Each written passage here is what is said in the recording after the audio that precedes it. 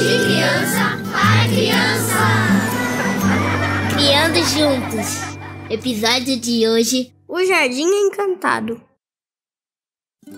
Em um jardim encantado moravam muitos animais, insetos e fadas. Todos viviam felizes e trabalhavam para que o jardim sempre fosse um lugar florido.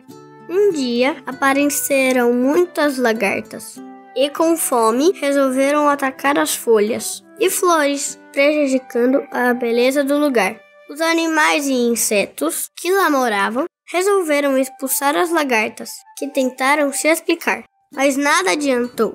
Porém, deixaram as lagartas, dormiram mais uma noite no jardim, com a promessa de não comerem mais nada.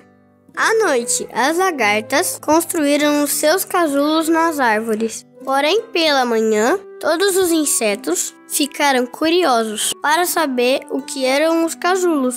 Quando de repente eles começaram a abrir e borboletas coloridas voavam pelo céu azul, deixando o jardim mais colorido. As borboletas se tornaram amigas de todos e viveram felizes para sempre.